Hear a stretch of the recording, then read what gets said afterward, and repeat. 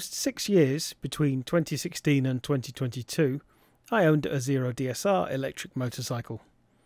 Despite early issues with the first one I owned and a failed onboard charger on its replacement, I had a smooth and happy time of ownership. My only ongoing costs were tyres and standard minimal servicing costs. By the time I came to sell it in April of 2022, I had done 21,000 miles or just under 34,000 kilometres on the bike. I loved the bike, but was really keeping an eye out for an electric motorcycle which would allow me to do longer touring rides, involving multiple charges in the shortest time, and this meant a bike which had DC charging. After a mainly successful 1000 mile trip on a borrowed Energica Eva Ribelle towards the end of 2021, I settled on that particular bike and ordered one, receiving it in April of 2022. However, I have continued to keep an eye on developments with Zero motorcycles, as I think they deserve credit for having done a great job in putting electric motorcycles into the hands of riders. And I think any electric motorcycle manufacturers who offer practical and commercially available, as opposed to ridiculous concept or vaporware vehicles, deserve support.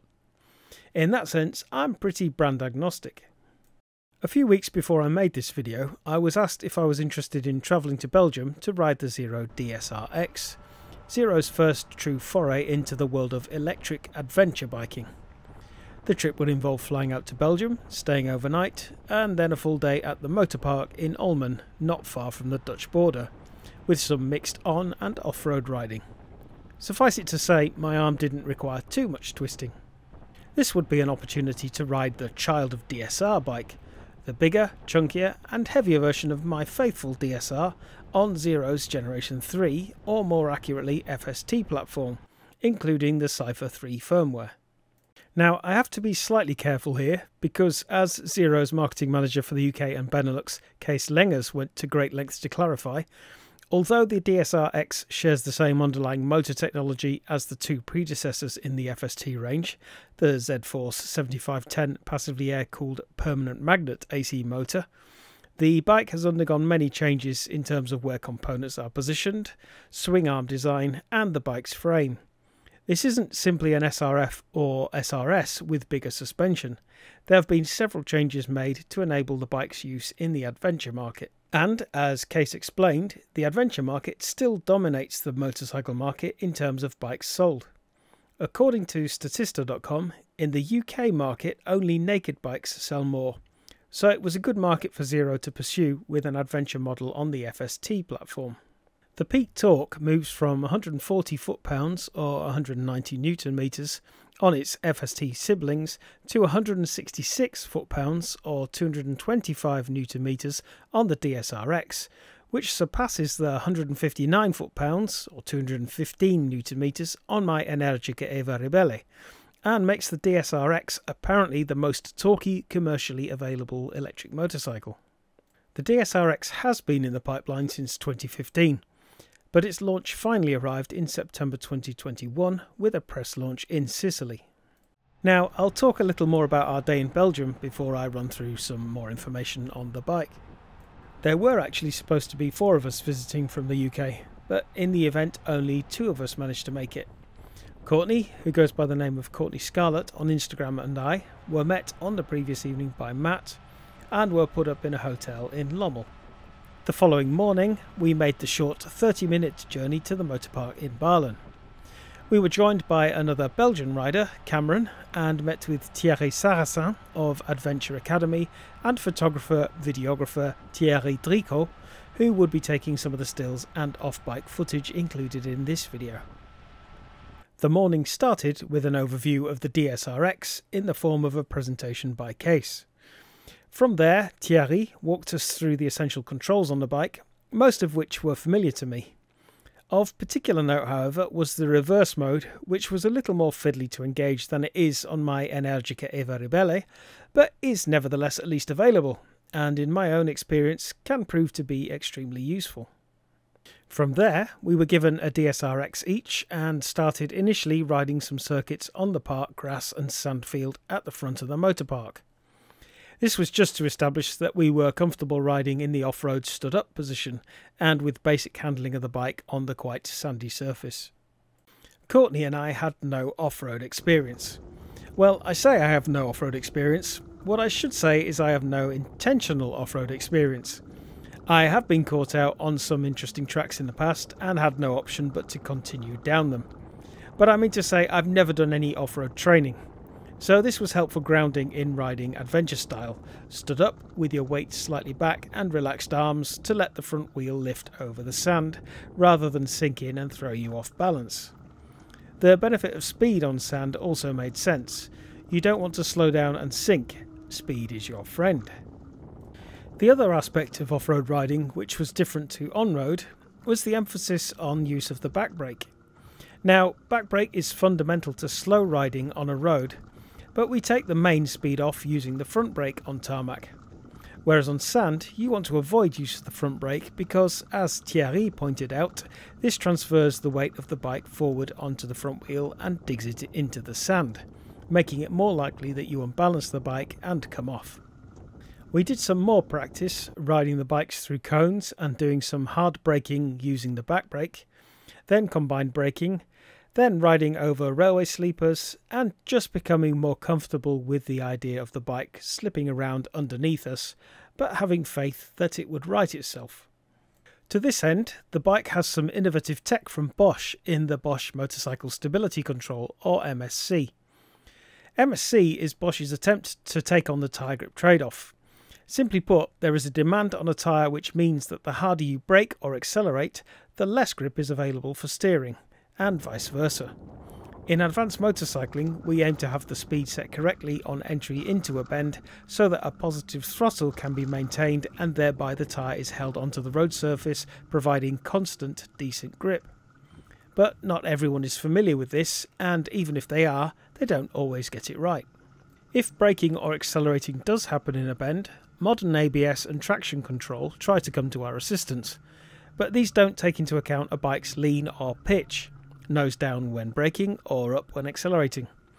This is where Bosch's MSC comes in, which factors in the lean and pitch angles and adjusts the anti-lock function dynamically, helping to ensure that we're less likely to have the back wheel slide out from under us, have the front wheel lift off under sudden acceleration, or the back wheels lock up under braking. The system only allows the amount of braking the tyres can give under specific circumstances, providing a rider with more grip to complete their turn. MSC has been around for a few years and isn't exclusive to Zero, but it's a great addition into a bike like the Zero DSRX and adds a great deal of reassurance even to an off road amateur like me. I could feel the system working in sections of the off road riding we did, notably on the sand.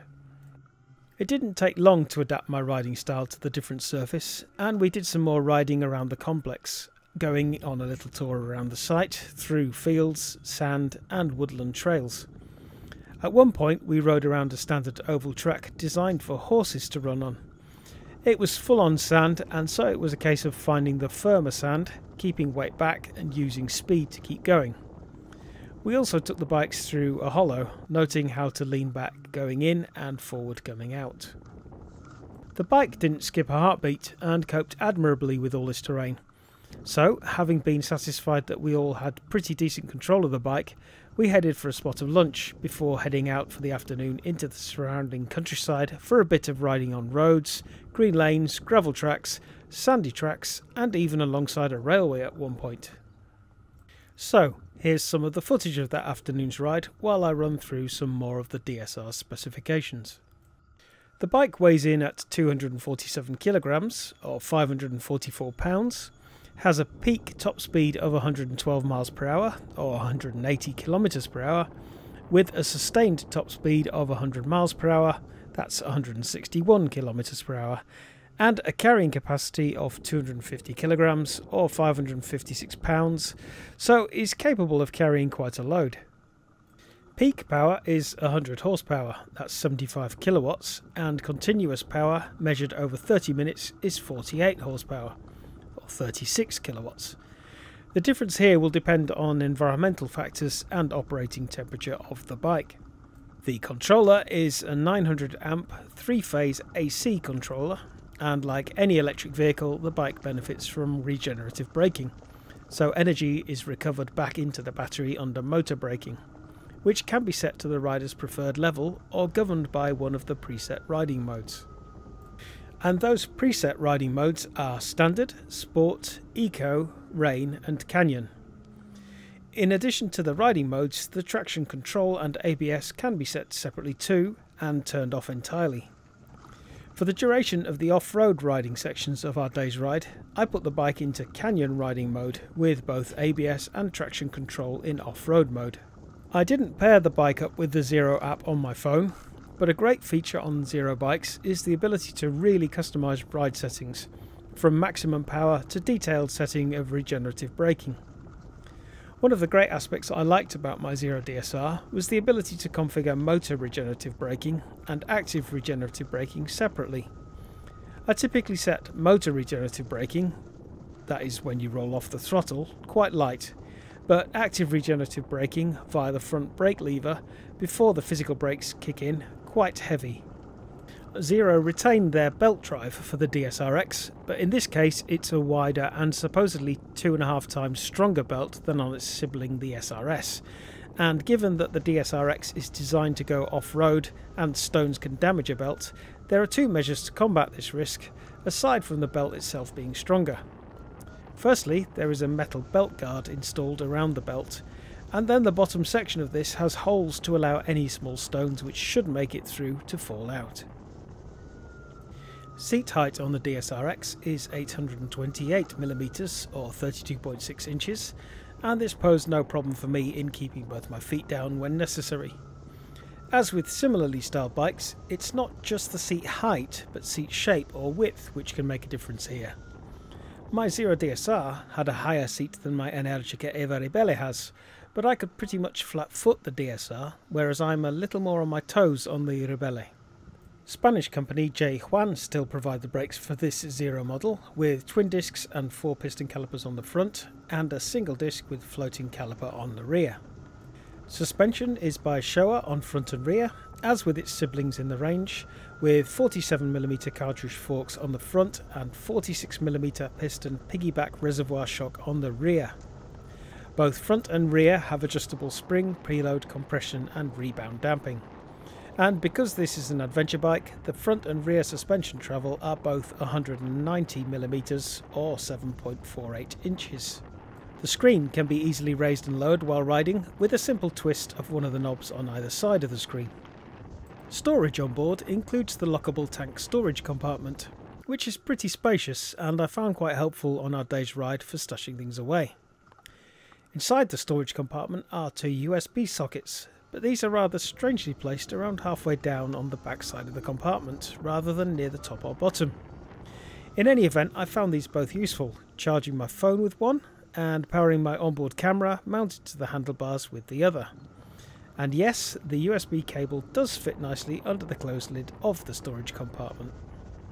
Immediately in front of the storage compartment is a separate lid to the charge port, which in Europe is the standard EV AC Type 2 Mennekes socket Having initially offered Givi luggage on its older range of bikes and then moved to Shad for the SRF and SRS, luggage for the DSRX is available in the form of the SW Motech Trax ADV top aluminium case, offering 38 litres of storage, and the Trax ADV side cases. So they're decent quality and rugged cases, though it's not clear which of the SW Motech sizes the panniers are from the specs, and there weren't any I could take a look at. I would guess that they're the 37 litre medium ones though by the look of them.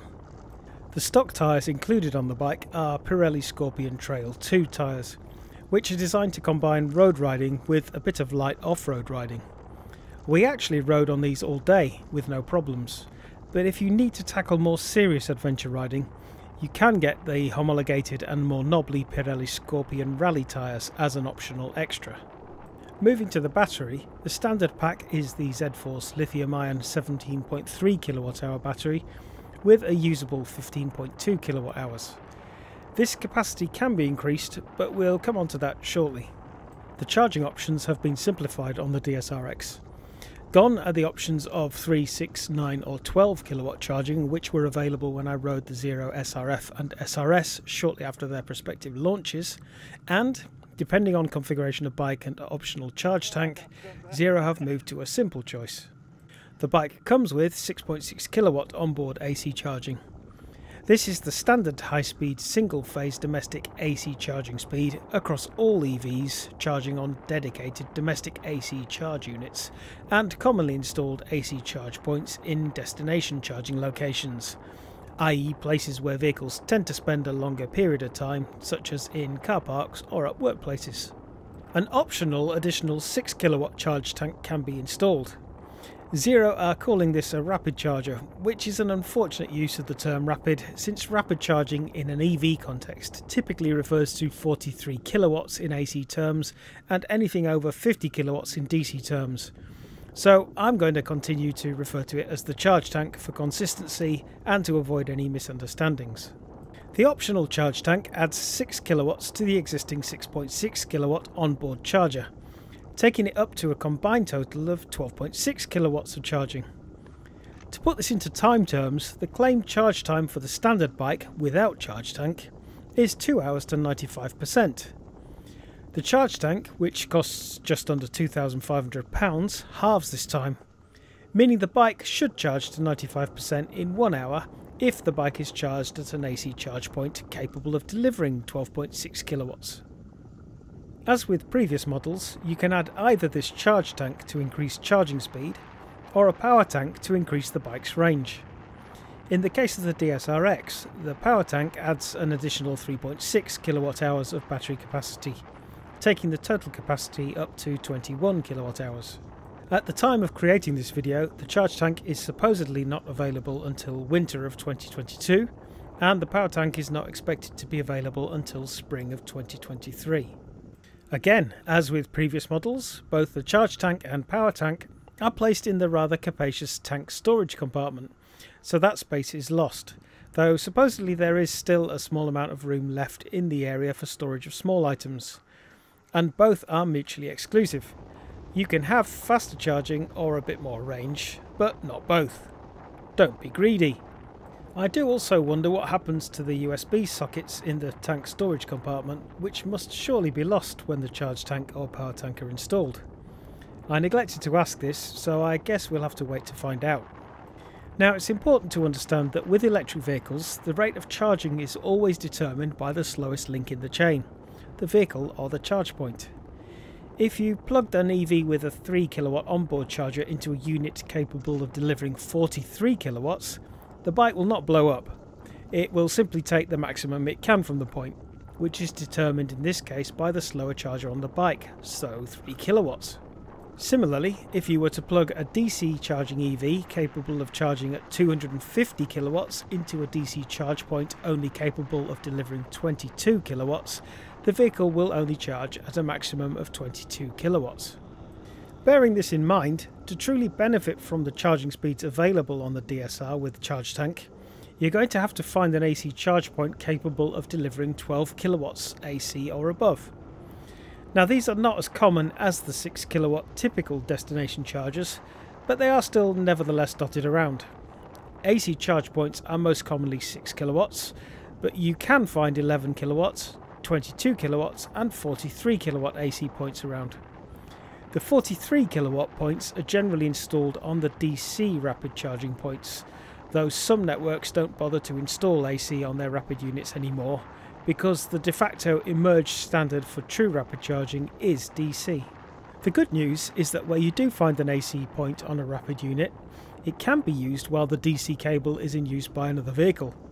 And since DC is by far the most common rapid charge method in modern EVs, this does mean the Zero bikes have the advantage of being less likely to encounter a unit blocked by another vehicle using it.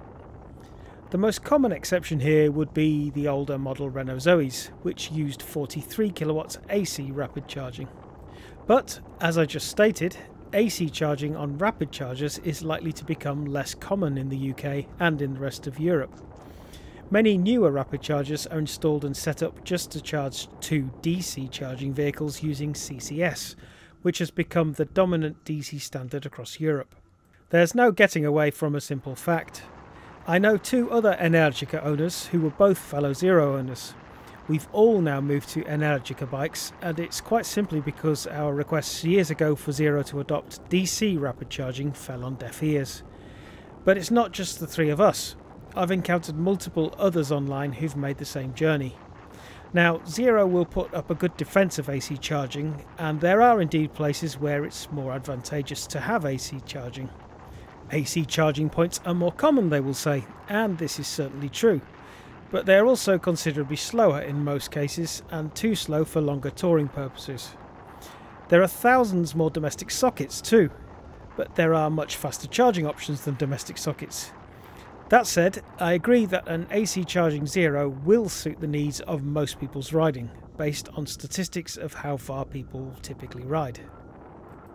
And from one thorny issue to another thorny issue the issue of Cypher Store upgrades. Well, essentially unlockable upgrades through the Cypher store have gone on the DSRX. I know this is a divisive issue and some people may appreciate the convenience of being able to unlock features which already exist on their bike by pressing a couple of buttons and paying a couple of hundred or several hundred pounds to unlock these features without needing to visit a dealer and having any new components or hardware added. But frankly, and I'm not going to mince my words here, I thought it was a terrible model Zero already made the outlay to include these things on the bike when they assembled the bike. Either they made a loss selling the bike to customers who won't pay to unlock these features, which wouldn't be sound business practice, or they thought they'd cream some extra money off the people who were good enough to buy their bikes. Neither of these is a good thing. Why would you not just make the bike better by including all the things you already spent the money on and thereby increase its attractiveness to potential owners? Electric motorcycles are already comparatively expensive and a small market. By running this Cypher store setup to unlock features, they probably alienated a lot of potential customers, and that's not something a company should be looking to do. What? You're going to make me pay to have the extra battery capacity and carry it around, but then lock it off to me? Um, no. This just made competitors even more attractive. Anyway, the good news is that fortunately Zero have seen the light on all this, obviously saw the widespread negative reaction, realised the error of their ways, and they now just sell the bike with all the features included. Of course, they have correspondingly bumped up the price a bit, but this is still preferable to my mind. Just let me have what I paid for, right? I've covered some of the main options available, but there are a range of extras you can add in various categories through the bike build configurator on the Zero website. From an adventure chain kit to replace the belt, to a centre stand, to wire wheels, in addition to a range of other extras to tart up your bike.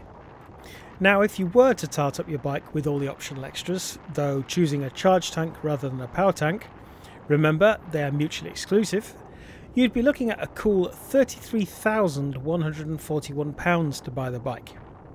But the likelihood is you're not going to be doing that. It would be silly. If I were seriously considering the bike for me, I would almost certainly go for the charge tank, which takes the base model price of £24,150 up to £26,609, because it's far more important for me to charge faster than to travel a little bit further. Then I would probably add the luggage, which once again pushes the price up to £28,267 Though I might forego the panniers and opt for soft luggage alternatives, saving £849 in the process. Finally, I think a centre stand is a very sensible thing to have, so that would bump up my own total to £28,487. There's no getting away from it, that's a hell of a lot of money for a motorbike, and you're either going to be one of us mad EV early adopters, have lots of spare Wonga, ride a lot of miles, or just prefer the experience of riding electric to justify that financially, even factoring in savings in fuel and servicing. For this kind of money, you'd be looking at a fully kitted out BMW GS with bells and whistles, or a cheaper alternative electric motorcycle. Perhaps one with DC rapid charging built in. Um, I've said too much. The bike comes with an EVSE cable, that's a standard Type 2 cable for use in standard AC EV charging points to you and me. But if you want to have a UK wall outlet adapter, or a granny cable as it's known in EV circles, That is to say, a cable which allows you to plug the bike into a standard UK Type G domestic wall socket, you're looking at a somewhat crazy price of £445. Now, I'm not making any official recommendations here, but if it were me, I would be swerving the official Zero granny cable and nipping down to your local Screwfix or Toolstation and picking up one of their splendid aftermarket granny leads for under half the price. Zero might advise against this, but it is the vehicle, or more precisely the battery management system, which determines how much power to draw from a supply, and with a granny cable you're looking at a lower rate than you'd get from a dedicated EV charge point anyway. Domestic EV chargers will generally operate at up to around 7 kilowatts, but with a standard UK 240 volt socket and a 15 amp fused plug, you're looking at a maximum 3.6 kilowatt charge rate. The reality is, if you are going to be using the bike a lot, you should look at installing a dedicated domestic charge point anyway, which is a safer way to charge and offers all kinds of other advantages, such as connection with energy monitoring, so your EV can charge on cheap rate electricity or even exclusively solar if you have it fitted. My own recommendation would be the rather splendid British designed and manufactured myenergi Zappi. Not just because I'm doing my bit for domestic industry, but because it's a seriously good bit of kit. Anyway, let's get back to the bike and talk a little bit about the kind of rider suited to the DSRX. Firstly, if I were considering doing any serious off-road electric motorcycling, the DSRX would be my go-to bike. If that's the nature of your riding and touring is not your primary interest, there isn't an electric motorcycle to touch the Zero DSRX. It demonstrated quite clearly to me that it could hold its own on different surfaces, and when you consider that none of us three guests on our day's ride even dropped the bike once, that's quite a tribute. Throughout the whole day's riding, I used a mere 32% of the battery's capacity, and checking the ride leader's Thierry's bike gave the same result. The need for speed when it comes to charging didn't even enter into it, and we really were in the saddle for most of the day, bar a lunch and afternoon cafe stop. And did do a reasonable amount of road riding and some at higher speeds too. In the absence of a competitor electric adventure motorbike, there really isn't another choice. And no, the Energica Experia is a sports tourer, not an adventure bike, despite how often many people compare the two. If you just prefer the look of the bike to the Zero SRF or SRS and you don't wish to undertake long touring trips, that would be another reason you might opt for it. I opted for the Zero DSR back in 2016, a dual sport bike with knobbly tyres, designed to do some off-road work too, but rode pretty much exclusively on tarmac and certainly didn't do anything more than light gravel tracks. Ultimately, I put road tyres on it too. I chose the Zero DSR just because I preferred the look of the bike over the Zero street models at the time. If, however, like me, you like to tour, you want to do so with the fastest possible charge stops, and you're riding in areas with plenty of DC rapid charging infrastructure, you would probably be better off going the way I've gone and getting an electric motorbike with DC rapid charging capability. Though zero AC charge rates with a charge tank on board are not too bad.